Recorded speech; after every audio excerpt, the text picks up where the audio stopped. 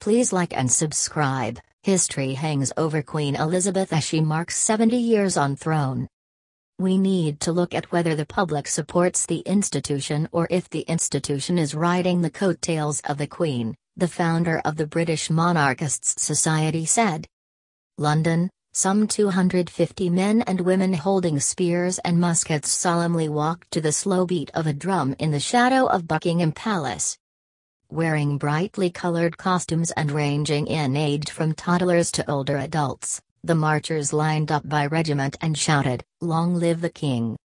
The King's Army, a reenactors society, on Sunday commemorated the execution of King Charles I, who was beheaded January 30, 1649, after falling out with Parliament. The group is a living, and marching, symbol of the connection so many here feel to the monarchy. It is also a reminder that the British royal family, one of the world's most enduring, has a tumultuous history.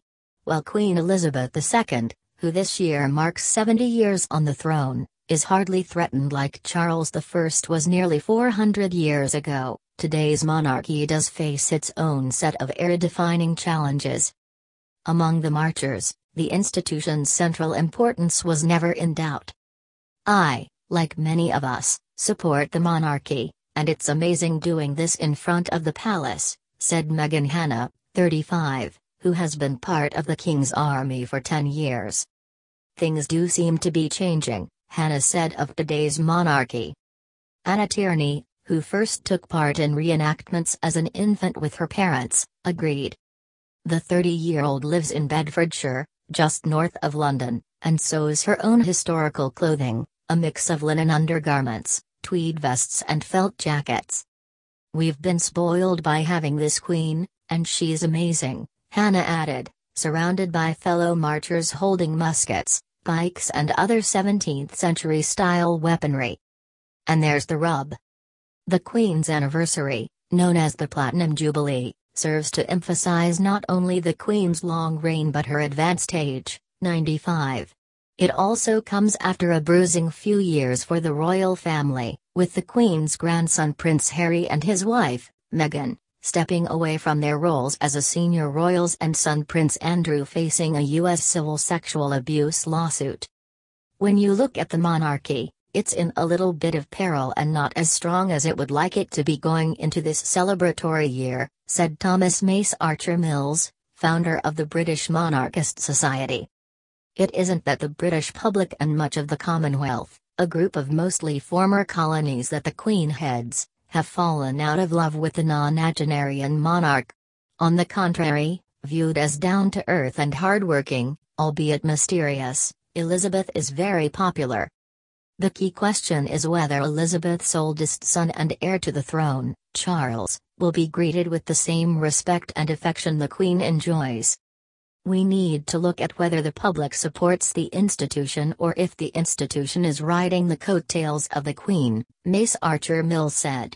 At the moment, it seems that the affinity and love that the public have stems from Her Majesty. The Queen's third child, Andrew, also known as the Duke of York, is at the heart of the monarchy's current troubles. He was stripped of his military affiliations and royal patronages in January, he will no longer be referred to as His Royal Highness and will fight the U.S. sex abuse lawsuit as a private citizen, according to Buckingham Palace. A longtime friend of convicted sex offender Jeffrey Epstein, Andrew was forced in 2019 to step back from his royal duties. January's move by the palace put further distance between the monarchy and Andrew as he defends himself from the accusations by one of Epstein's accusers, Virginia Giuffre. She alleges that Epstein and Ghislaine Maxwell trafficked her and forced her to have sex with Andrew, now 61, in the 1990s. He has repeatedly denied the allegations and that he has ever met Giuffre, who was 17 at the time. Meanwhile, Harry and Meghan announced their decision to step down from their roles as senior royals in January 2020, amid accusations of racism that the family has denied. They moved to California and from there have lobbed accusations of racism at the UK media and slammed the monarchy's inability to protect them. Despite these and other travails, The Queen is the third most admired woman in the world, according to a YouGov survey released in December that interviewed people in 38 countries. After so long on the throne, that's no surprise, according to Philip Williamson, a historian of 20th century British politics at Durham University. Someone who's been a public figure for so long and is taken to represent various desirable values is bound to command a degree of reverence, Williamson said. Though the Queen assumed the throne in February 1952 after the death of her father, King George VI, Britain's official celebrations are scheduled to take place around the time she was coronated in June, with plenty of pomp and circumstance to go around. There will be an extra national holiday for the occasion along with other events across the UK throughout the year. Excitement about the royal family is exactly what the monarchy is hoping the Jubilee will inspire, according to Laura Clancy, the author of Running the Family Firm, How the Monarchy Manages Its Image and Our Money and a lecturer at Lancaster University. There is this balance of visibility and invisibility, Clancy said of the royal family. Funding or wealth, those are the things they might want to keep invisible. On the other hand, they've got other things that are hypervisible, like ceremonies, weddings or babies, and the Jubilee is probably the biggest one of those. It's about celebrating the monarchy. And it means that the invisibility of these other things can continue. While a clear majority in the UK still supports the Queen despite the royal family's troubles, there has been a small but significant shift in support for the monarchy over the last year. A YouGov analysis released in May showed that among 18 to 24 year olds polled, 41% would prefer an elected head of state to a monarch. That's a big change from 2019, when that number stood at 26%. This questioning of the monarchy's relevance by younger people comes during this sensitive time for the family, and it's tough to predict how it will play out in the coming years, Clancy said. Harry and Meghan raised the important questions about racism and sexism. Then you've got Andrew, who is hammering home the sexism issue, and then the Queen dying will be a pivotal point, Clancy said.